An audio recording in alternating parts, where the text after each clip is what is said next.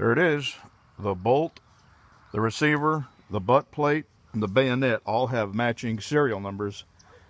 And uh, this thing, it's pretty tight. It uh, doesn't feel like it's been operated very much. I mean, it looks like hell. But uh, anyway,